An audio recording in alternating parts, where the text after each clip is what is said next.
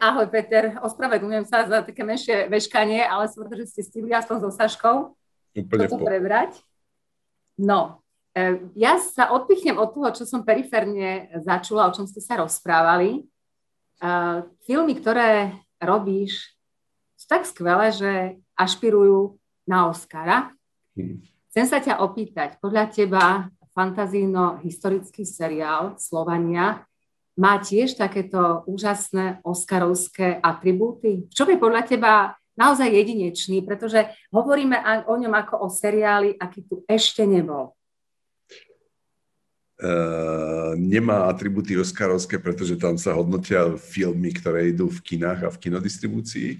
Tým pádom, keď tak môžu mať uh, na cenu Emmy, ale to tiež, ako by som trošku bol uh, veľmi triezvejší, ale uh, je výnimočný práve v tom, uh, že vznikol v tom našom teritoriu. A myslím si, že uh, dlhé, dlhé roky nevznikol uh, tak náročný a historicky tak posunutý, uh, aj žánrovo posunutý seriál uh, na našom území.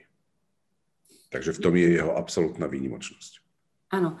Uh, u teba je novinkou asi to, pretože ty nakrúcaš filmy, ktoré sú uh, napínavé, ktoré si dovolím si povedať, si povedať sú vyslovene thrillery, ale ešte nikdy si nezašiel až tak historicky ďaleko. Naposledy uh, film Správa je, sa odohráva počas druhej svetovej vojny, ale toto sa odohráva v 7. storočí. Aj si si musel nejako dohodky naštudovať túto tematiku? Nejako špeciálne sa tomuto venovať?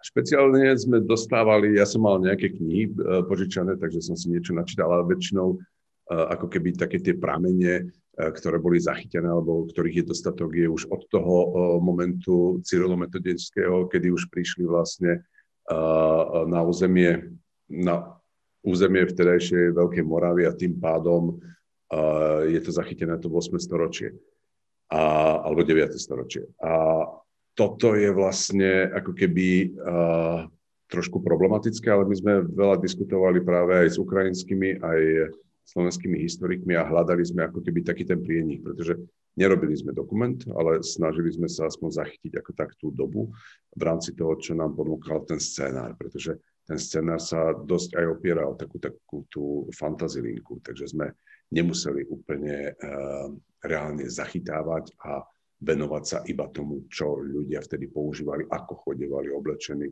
čo znamenal aký symbol. Pretože um, v tomto sa aj samotní uh, vedci alebo historici trošku ako keby sporia a vadia a nevedia úplne presne, um, úplne presne povedať, že takto to bolo spolu s Martinom Žiaranom si pripravoval vizualizáciu celého seriálu. Do akej miery si používal pritom teda svoju fantáziu? Lebo hovoríme o tom, že opieralo sa to síce o historické fakty, ale napríklad e, Čarad, hej, predstavoval si každý nejako toho Čarada, aj samotný Dušan Cinkota, dokonca povedal, že občas si mu tú jeho fantáziu aj skresal trošičku. Tak do akej miery e, to išlo vlastne úplne tvojim videním? Ono to, to veľa ovplyvňujú aj tie e, veci, ktoré sú v, napísané v tom scenári. Pretože postava Čarada je napríklad človek, ktorý e, do veľkej miery hrá sa na toho čarodeja. Hrá sa na toho, na toho žreca, ktorý ako má tú veľkú moc a, a pokaz, do, potrebuje ju ukázať tomu tým všetkým ľuďom, ktorým ako keby týmto spôsobom, ktorých ovláda. A na to sme práve e, vymýšľali, že, že práve takí ľudia, ktorí, e, ktorí nie sú si úplne istí, potrebujú tú svoju moc dávať najavo inak, inými znakmi. Tým pádom ako keby využíval také tie šamanské uh, malovania a, alebo takú tú uh, vizuálnejšiu stránku, viac ako keby tú svoju uh, posvetenú, tú, ktorú má ako keby od bohov dano. Takže preto sme aj pristupovali k Čaradovi tak, že je to istým spôsobom taký jemný hochštapler, ale ukáže sa, že ten hochštapler tiež niečo dokáže. E, ale jedna vec je to, čo je na papieri, čo je v scenári, potom druhá vec je tá e, realizácia. Bol nejaký moment, kde si vyslovene odskočil od toho, čo bolo v scenári a zrealizoval si to nejako úplne inak? To si až tak nepamätám, pretože za tých uh, vecí uh, tak náročných alebo tak niekde v niečom uh, výstredných nebolo. Práve niekde som bol ako prekvapený. Boli časti, kedy som sa ja musel pýtať, že či naozaj to tak natočiť, ako je to napísané. Lebo v niečom mi prišli tie, tie scény veľmi odvážne. Odvážne do takej miery, že som si nebol istý, že či, či prejdú cez vysielateľa a či ich bude možné vôbec odvysielať. Takže... Teraz neviem, či máš na mysli uh, scény také tie násilné alebo erotické, ktorých bol... V tomto prípade som erotické, pretože tam je jedna celá časť, ktorá sa uh, odohráva počas slnovratu, ale to nie je taký ten uh, slnovrat, ktorý si predstavujeme, že teraz vybehneme uh, na lúku uh, sem za Bratislavu a popreskakujeme ohník, ale práve, že to bolo o tom, o tom uvoľnení uh, tých, uh, tých sexuálnych púdov a vlastne celé dve hradiská, ktoré tam spolu sú, tak uh, spolu vlastne je dovolené všetko a nič nie je zakázané. Takže aj si to nejako cenzuroval, okresal, ten pôvodný scenár v týchto oblastiach? Nie, nie iba, sme, iba sme zisťovali a riešili, že či naozaj tak, ako je to napísané, či sa to dá aj tak natočiť. A to už je potom vlastne e, s tým, ako sa ďalej bude e, narábať. A keďže sme odovzdali zostrých a neprišli nejaké výtky smerom k tomu, že by sme to museli mm, cenzurovať a prestrihávať, pretože zase, povedzme si, um, počas toho slnovratu to sa odohráva takmer uh, tretina toho seriálu, tak ak by sme toto mali cenzurovať, tak to nejakých 15 minút zo seriálu. Takže zostalo tam, tam veľa aj teda tých bojových, aj všelijakých scén a aj tých erotických, takže majú sa diváci na čo tešiť, ak teda sa im uh, páči aj toto, ale je to autentické však, lebo... Áno, na tomto práve bolo postavené, aby to nebolo nič umelo, uh, ale aby to pôsobilo autenticky. Autentičnosť je totiž veľmi dôležitá. Je to totiž uh, to, že dobre, je to fantasy, uh, fantasy produkt, ale musí byť tak urobený, aby pôsobil autenticky, aby nikto o ňom nepochyboval. Pretože aj pri sci-fi uh, máte uh, vesmírnu loď, ale musí tak pôsobiť, že o nej jednoducho nikto nepochybuje. Ne, ne, to je, že o nej nikto nepochybuje. Že je to tak. Uh, myslím si, že vám veľmi prijali aj exteriéry, nádherná príroda, Eh, na Ukrajine. Eh, ty si už na Ukrajine nakrúcal, ale určite kratšie ako teraz, určite nie pol roka. Eh, urobila ti táto krásna panenská príroda občas aj škrt cez rozpočet, alebo ti to všetko zapadalo do tých tvojich myšlienok, do tých tvojich predstav, ako to realizovať? Um, je to rozdiel, je veľký rozdiel, keď sme natáčali Čiaru a to sme natáčali vlastne na západe Ukrajiny pri hraniciach so Slovenskom. A toto sme uh, našli uh, vlastne nejaké uh, e, 3 hodiny od Žitomíra, od Kieva pri, pri meste Žitomír, ktoré je veľké mesto. A výhodou toho, toho prostredia práve bola tá nedotknutelnosť. To je to, že nevideli ste tam žiadne lány, polia spracované, nevideli ste žiadne stĺpy, nevideli ste nič, čo by ako... Na, bolo náznakovo dané, že tam je civilizácia. To nám pomáhalo práve pri tej realizácii. To, čo, nám, to, čo nás vždy prekvapovalo, bolo, jak tá príroda sa rýchlo mení, pretože sme napríklad vybrali niektoré priestory a, a vyberali sme ich niekedy v marci, v apríli a keď sme prišli v máji, aby sme ich natočili, tak úplne inak vyzerali. Treba boli uh, mokrade boli vysušené, alebo uh, keď sme sa vrátili v septembri točiť, tak zrazu už opadávali listy a už tam bola úplná jeseň, takže sa to niekedy ako keby ťažšie, ťažšie dávalo dokopy. Ale to, čo ma naozaj fascinovalo, tak to, to, čo sa mi páčilo, tak to bola tá voľnosť tej prírody, že tam ja som naozaj vo voľnej prírode na Slovensku veľmi málo videl hadov lezúcich sa, ale tam som teda mal ako tú príležitosť veľakrát. Takže aj si sa občas nesústredil na prácu, že si sa bál? Nie, oni sa veľmi nepohybovali tam, kde sme točili. Skôr to bolo pri nejakých presunoch, alebo keď sme, eh, keď sme hľadali nejakú počas natáčania ďalšiu lokáciu, tak vtedy, to, vtedy sme tomu boli hlavne vystavení. Ty si bol hlavný režisér, spolupracoval si s ďalšími. Ako vyzerala tá spolupráca s ďalšími troma, myslím, režisérmi? Uh, tam bol Miško Blaško, uh, ako keby ďalší režisér a potom boli ďalší uh, dvaja Ukrajinci. Michal mal štyri časti a každý jeden z tých Ukrajincov mal po dve časti. Skôr naša práca aj s Martinom bola tá nastaviť ako keby tú základnú tonalitu a hlavne ako vyzerajú tie priestory, ako budú oblečení tí herci, ktoré sú tie hlavné postavy a takéto, od čoho už tie ďalšie vlastne časti sa odvíjali. Takže my sme robili prvé dve časti, potom robil Michal, potom robil ukrajinský režisér a potom sme vlastne sa to tak nejak vystriedalo ale dôležité bolo to nastavenie práve v tom, akým spôsobom je e, to snímané, ako hrajú herci, e, ako sú tie postavy, charaktery nastavené, oblečenie, kostýmy a celková tá vizualita toho seriálu. A to, ako si si to predstavoval, sa splnilo do akej miery?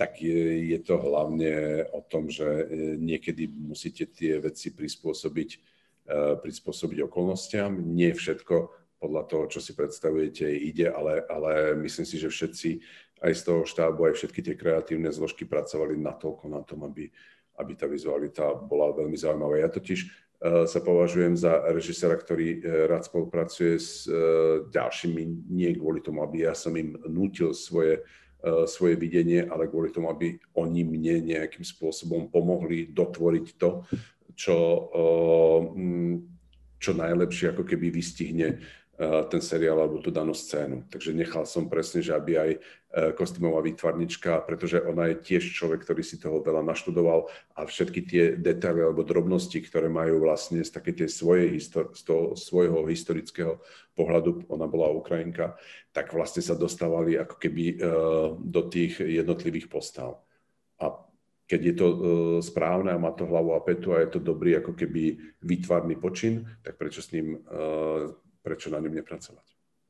Spolupracoval si teda s ukrajinskými kolegami v štábe, ale aj s ukrajinskými hercami. Čo sa týka slovenských hercov a herečiek, mal si tam ostrielaných hercov, ktorých dobre poznáš, Tomáša Vaštalíra, Zuzku Fihalovú, Juraja Loja, ale mal si tam aj napríklad Janku Kvantíkovú, mal si tam Janku Labajovú. Ako si bol spokojný s výkonom hercov, herečiek a hlavne prekvapili ťa aj tí ukrajinskí herci a herečky?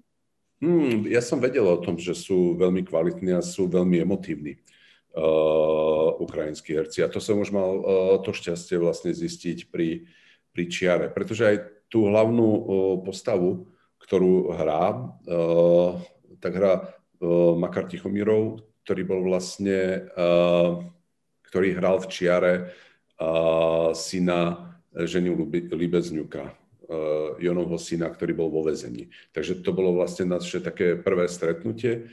A kedy som videl, že to je skvelý herec, dokonca sa sám naučil, bez toho, že by mal nejakého, nejakého učiteľa, sa sám naučil slovensky. Takže na konci už, keď som prišiel po tom dlhom čase a v septembri dotáčať tú 9. a 10. časť, tak s nami už komunikoval slovensky, čo bolo a bez toho, aby mal nejaký prízvuk. Ale bolo to, bolo to úžasné vlastne chodiť do toho Kieva, stretávať a spoznávať tých, eh, tých hercov, pretože je to rozdiel. Uh, ja viem presne, aké majú tí herci naši, aké majú postavenie na Slovensku, ako ich vnímajú, kto je aká hviezda, ale keď to nemáte nejakým spôsobom zažité, tak keď prídu aj tí ukrajinskí, tak vlastne ja si vážim hercov, ale nemáte k ním žiadnemu takú, takéto uh, božské, že toto je hviezda ukrajinského filmu a k nemu sa treba správať veľmi, veľmi úctivo, uh, že je to trošku iný ako keby pohľad. To, to som vlastne odpozoroval všetko od tých ukrajinských členov štábu, podľa toho, ako vnímali a ako, ako oni reagovali na daných hercov, ktorí tam prišli. Aj si sa nejako stretával aj mimo placu s hercami, slovenskými aj ukrajinskými? Tak sme boli na hoteloch, tak tým pádom uh, to bolo jasné, že s tými ľuďmi uh, trávite čas aj po natáčaní, ale väčšinou som to sa snažil uh, nepredpádavať tomu, aby som uh, trávil veľa času uh, sedením a popíjaním, ale skôr, skôr večera áno, to bolo, to bolo asi to najhlavnejšie, na čo som sa tešil po natáčaní, že ísť, lebo sme tam mali takú obľúbenú gruzinskú reštauráciu, ísť tam, navečerať sa a potom väčšinou som e, chvíľu sme posedeli, porozprávali sa, ale potom som išiel radšej na izbu, než, než by som mal prepadať nejakým um, životným oslavám. Spraviť pol roka na Ukrajine, to je pomerne uh, dlhá doba. Aký máš taký top zážitok? Najveselší, najlepší? Nebol Je mi jasné, že si tam nebol celý čas. Celý čas, ale, ale zase, keď sa to zoberie, že e, bolo to také dosť, dosť e, hektické a divé obdobie, pretože e, niekedy od februára, marca, keď sa začali robiť, ono už skôr, už pred tým rok sme chodevali a robili obsadenia, ale keď sme chodevali hlavne na obliadky, tak boli také dni, že som jednoducho ráno nasadol na lietadlo a odletel som uh, na, do Kieva. Uh, večer som sa z Kieva vracal naspäť, aby som ráno hm, sadol na lietadlo a odletel do Luxemburgu, kde sme vlastne riešili uh, správu. A takto vlastne som fungoval pol roka alebo keď sme išli do Ameriky, sme išli navštíviť vtedy Michael Douglasa a hneď stadiaľ vlastne vo Viedni som prestupoval na lietadlo do Kieva a išli sme, išli sme točiť. Ale uh, v rámci toho, čo tam človek zažije, pre mňa bolo fascinujúce práve uh, ten život v tom Žitomíre. Pretože bolo to niečo, uh, Kiev je obrovská metropola, veľká, bohatá, uh, tam sú naozaj uh, tie prenajmy a, a tie byty sú strašne, strašne drahé v rámci toho nákupu. Aj tí ľudia tam žijú a proste tam je vidno, že to je veľké uh, mesto, ktoré, ktoré prekypuje. Ale uh, ten Žitomír bol práve taký opak. Bolo to, aj keď to je cez 200 tisíc obyvateľov, sa, sa mi zdá, že má toto mesto, tak ste tam strašne cítili ako keby takú, že tam sa ako keby mm, také tie 90. roky, ktoré boli na Slovensku, len blížia že ten, ten spôsob, uh, ako žijú, bolo tam strašne veľa uh, podnikov, ktoré boli prázdne alebo uh, rozbité domy. Videli ste strašne veľa uh, starých aut. Uh, to, čo naozaj mňa veľmi uh, trápilo, tak to boli uh, taxikári, ktorí sa cítili byť nesmrteľnými, ktorí jednoducho jazdili takým spôsobom, že každá tá jedna cesta som ďakoval Bohu, že som to prežil. Ale takto potom som si uvedomil, že vlastne jazdia všetci. Nechápal som, kde, kde prišli na tom, pritom tie cesty naozaj vyzerali veľmi, veľmi uh, deravo.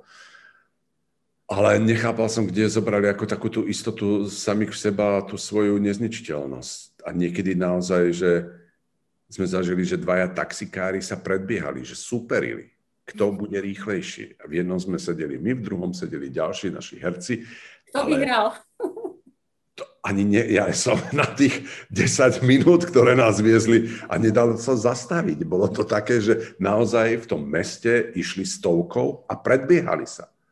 Takže Ale adrenalín a trochu retro. Ste nevedeli vôbec, ako nejakým spôsobom ich zastaviť alebo povedať, pretože to ich ešte viacej ako keby motivovalo byť ešte rýchlejším. No, niekedy to bolo trošku ťažké.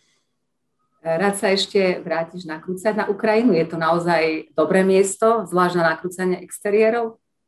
Uh, je to dobré miesto aj pre, ako myslím si, že uh, vzhľadom k tomu, akých ľudí sme tam stretli, pretože naozaj aj v tom štábe boli uh, veľkí profesionáli, aj tí herci sú veľmi, veľmi kvalitní herci, veľmi dobrí herci. Takže určite, uh, ak by sa naskytla príležitosť, tak by som neváhal, pretože človek e, sa musí len trošku ako vedieť prispôsobiť. Musí vedieť byť uh, pripravený na to, že nie všetko je úplne tak, ako si predstavíš, ale to ani u nás úplne tak nefunguje. Už onedlho sa začne vysielať seriál Slovania. Všetci s napätím očakávame, a ako sa budú na tento seriál pozerať diváci a verím, že ho príjmu. Podľa teba, e, čo je na ňom, keby si tak mal zhrnúť na tomto seriáli, úplne najúžasnejšie? Prečo by si ho určite mali diváci pozrieť?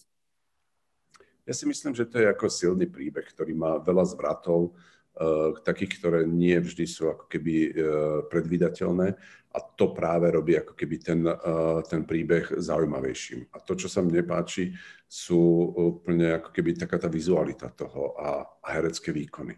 A toto všetko vlastne dokopy vytvára keby takú tú mozaiku, ktorá ponúka tomu divákovi istú atraktivitu a ponúka mu napätie a ponúka mu aj zábavu v istých momentoch, takže myslím si, že si tam každý dokáže niečo z toho nájsť to, čo je pre neho, čo je mu najbližšie.